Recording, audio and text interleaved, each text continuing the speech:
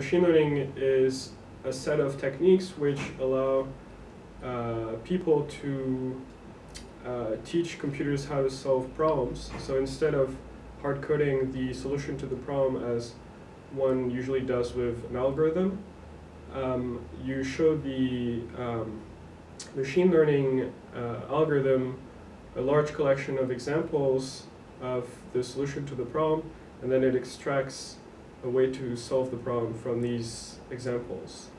Um, so unfortunately, uh, the models that are learned by these machine learning algorithms are vulnerable uh, to manipulations from adversaries. And how this works is, for instance, consider um, a model that we teach uh, how to distinguish stop signs from yield signs. So how that works is that you have a large collection of images of traffic signs and you label each image with either the fact that it has a stop sign or a yield sign.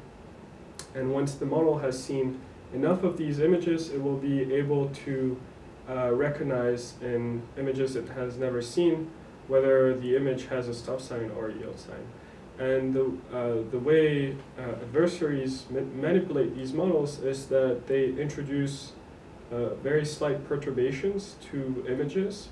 And so for instance, they can alter the image of a stop sign in a way that doesn't change your perception as a human, but the machine learning model will be misled by these perturbations and will output that it is a yield sign. So you can think of many cases uh, where this has security implications, for instance, when machine learning is used uh, um, to detect spam or malware or uh, there is also hypothetical attacks you could uh, consider for driverless cars or other devices like this.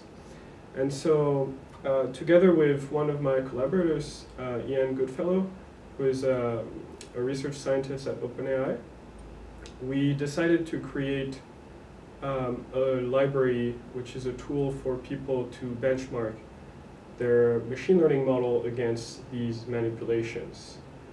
And uh, so OpenAI is a non-profit institution that was uh, co-founded by Elon Musk and uh, Sam Altman. And therefore we are uh, releasing all of the code uh, online. It's open source and people can download it uh, and modify it. And our intent is that uh, both the industry and the academia community can benefit from this tool. Uh, in the industry, it should uh, be helpful for developers which are creating machine learning models and uh, therefore they can use the tool to uh, identify vulnerabilities in their models and since the tool comes with tutorials on how to deploy defenses, hopefully they can make their models more robust. And in the academia, uh, it's always good to have uh, benchmarks that are used across research groups, uh, so because it makes uh, makes it easier to compare the results of different attacks and defenses.